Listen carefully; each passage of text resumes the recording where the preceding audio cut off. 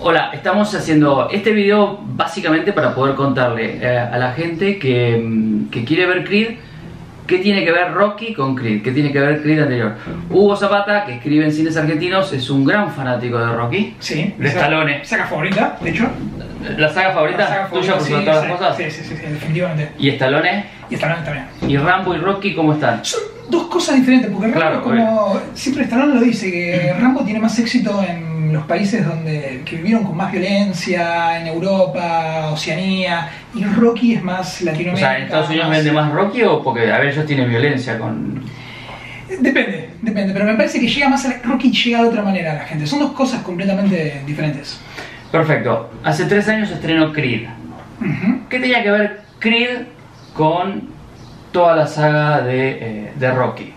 El proyecto de Creed es alucinante porque la película de Rocky estaba cerrada, que era con esta, Rocky Balboa, que fue la última. Esta, fue la última, es la quinta, Esta es la sexta. sexta. Eh, Rocky había tenido un mal cierre en 1990, que fue Rocky V, un fracaso de taquilla. La historia no era buena. ¿En qué año? 1990. Ok. Fue la época donde Stallone pegó una racha de películas malas que no funcionaron en la gente. Y, Y ahí empezó a ser bastardeado por ser el tipo que buscaba la octava, novena película. Sí, de- sí, sí, sí, sí, sí. La quinta está buena para los que somos fanáticos, tiene escenas que están buenas en la película, tenés un temazo de, de Elton John, pero como cierre de la historia de Rocky era floja. Pasan los años y aparece Rocky Balboa, que le da un cierre perfecto. Vuelve a la raíz de la primera película, te cierra la película y ya estaba, estaba completamente terminado, era despedida de Rocky. Que fue, tuvo buena crítica. Tuvo excelente crítica. Y la taquilla muy fue bien. Y la taquilla fue bien. De hecho, fue el mismo año en que volvió con la Rambo 4 zarpadísima. Muy violenta. Total. Eh, pasan los años y aparece este pibe, Ryan Coogler, el director de Pantera Negra, que viene del cine independiente, tenía una sola película de él, y le presenta el proyecto a Stallone. Ah, mirá. Tengo una idea para seguir con Rocky. Y Stallone dice, no, pero ya está, la cortamos en la sexta, basta. Ya No hay chance. No hay chance de que sigamos con esto. Y cuando lee el guion y ve que la historia estaba buena y quedaba para explorarla, se engancha con el proyecto. Y se engancha él en el guion, que de hecho termina con una nominación al Oscar, él como mejor actor de Y el director es el de Pantera Negra. De la primera Creed. De la primera. Sí. Lamentablemente, en esta nueva película que se estrena esta semana, por el tema de yo creo que Marvel, que está totalmente metido ya con la continuación de Pantera Negra, él no pudo ser parte de la, Ah, de la dirección. No, no estaba todo mal con Stallone, no. No, no, no. De hecho, es productor de la Es película. productor.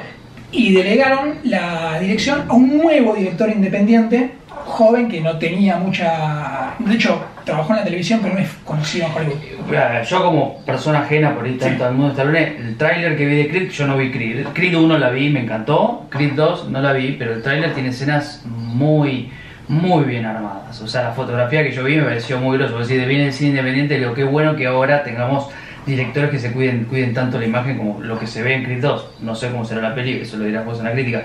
Pero digo, bueno, nada. Volvamos entonces, ¿qué tiene que ver Creed con Rocky? Era la continuación, pero digo, ¿por qué? ¿Cómo están entrelazados? Bueno, esto nace en- técnicamente desde la primera película, que es el, La primera el cual, película- eh, nació en el 76, la primera película del 76, Que tuvo muchas nominaciones. 10 nominaciones al Oscar, de las cuales ninguna fue para la música. Y dirigida. Es esencial. La música es histórica. ¿Y, y quién la dirigió? John Adelson, que es el director de la primera y la quinta. El Ah, resto mira. fueron dirigidas por Stallone. Ok. Que de casualidad fueron las más exitosas. Mira. Eh, la primera historia, él peleaba contra. Apolo, Contra Apolo. el underdog que sale de la nada. El negro, vamos a decir. el boxeador negro, o sea, para llamarlo popularmente. popularmente. Sí. Eh, en la segunda, La segunda es la revancha, porque la primera Rocky pierde, pero bueno, justamente esa es la gracia. La idea no era ganar la, la pelea, sino llegar hasta el final y probarse a sí mismo que no era un vago, más Claro, del barrio. claro, Ese claro. era el concepto de la primera película. recordemos la ciudad es. Filadelfia. Eh, la segunda lo gana. La segunda es la gran revancha, que tiene momentos emotivos fascinantes, especialmente con el nacimiento del hijo. Gana, se convierte en campeón del mundo, éxito taquillero de Stallone.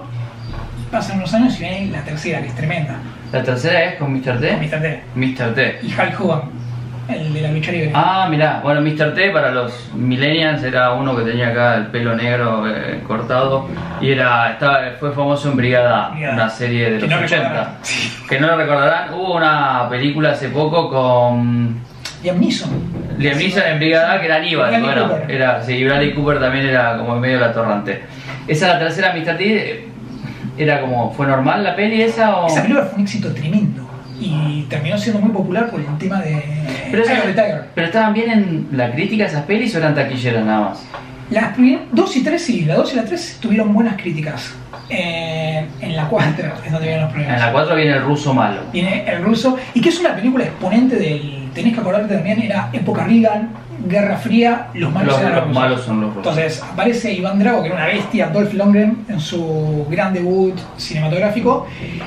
Mata en la pelea a Apollo Creed, que muere, y Rocky viaja a Rusia para la venganza. para la venganza. Vamos a frenar acá para dejar de hablar con el del ruso para volver a Apolo. Apolo, ¿qué tiene que ver con Creed? Apolo tiene un hijo extramatrimonial. En las películas se veía Rocky eso. 4, que no se veía. Nunca nos enteramos. Él tenía dos hijos. En las películas que eran ya grandes. O sea, para cuando se estrenó Creed, eran personas adultas, grandes. De más de 40 años probablemente. Ajá. Eh, y nos enteramos que tenía un hijo ¿Nos enteramos? en Creed. En Creed, antes no. Que o sea que este eso chico. fue un invento de guion, pero que cuadró bien. Perfecto. Perfecto. Adonis Johnson. Adonis Johnson, o sea, Creed, el protagonista de Creed, es el hijo de aquel primer luchador contra Stallone. Absolutamente. Bueno, la madre muere, el pibe queda en el reformatorio y es adoptado por la esposa de Apolo Creed. La esposa que estaba en la primera película, en la segunda y en la... Ok. No, es otra actriz, pero sí, está Es otra. Ok, el personaje sí. Eh, ¿Qué pasa? Bueno, el chico nace- crece en una buena familia, pero con, digamos, el mismo estímulo del padre por el boxeo y termina con, bajo la tutoría de Rocky, metiéndose en el negocio de la familia, digamos, que es el boxeo. Eso fue Creed. Eso fue Creed, que era una película sobre la búsqueda de la identidad, quién soy, y retomar el apellido. Fue buen éxito de crítica, buen Sí. éxito de taquilla, eh, Impecablemente filmada. impecablemente filmada, sin alterar nada, sin vender absolutamente nada. Ahí ya se, se habló de- al toque de la segunda o... Sí, la segunda ya estaba. Pero ya con el éxito. Ya con el éxito de la primera estaba de cabeza, venía la continuación. Lo que pasa es que lo que no sabíamos era la vuelta que le iba a dar Stallone a la historia con el regreso Ya. de Van Drago, porque es tremendo. Esto ya es más estalón haber metido de vuelta a su amigo, porque recordemos que eh, son amigos, Sí, o sea, son amigos Sí, de, cerveza seguro. Sí, sí, sí, sí. eh, y de anabólicos. Este, pero por esto ya suena, o sea, acá el, el hijo de Apolo va a pelear con el hijo. de Iván Drago. De Iván Pero le dan una vuelta tremenda a la película porque no te lo presentan como el villano de, de turno. Iván O sea, Drago hay no es tan malo ahora. Sí, pero lo entendés por qué. Vamos a entender qué pasó en estos 30 años desde que perdió Moscú, qué pasó con su vida, qué fue de la vida de Iván Drago y por qué actúa como actúa. Ah, mira. Entonces, cuando llega el momento final de la película, vos no lo ves como el villano de los años 80. Ya no es más Estados Unidos contra Rusia. Son dos tipos que se enfrentan en el ring para pelear más con los demonios personales que contra el otro.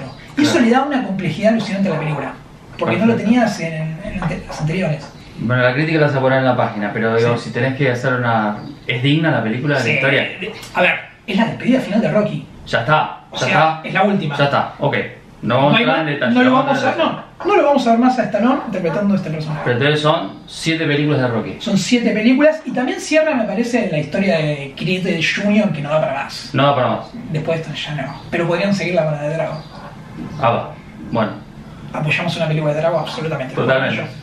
Gracias a todos. Suscríbanse al canal de Cines Argentinos que va a haber más videos ahora de, de ahora en más sobre estos temas. Simplemente charlas de películas para que uno pueda ver en cualquier momento eh, con uno de los estrenos, con, cuando lo vean en Netflix y demás. Hugo Zapata, Sir Chandler, nos pueden seguir en Twitter, nos pueden leer en Cines Argentinos. Gracias a todos.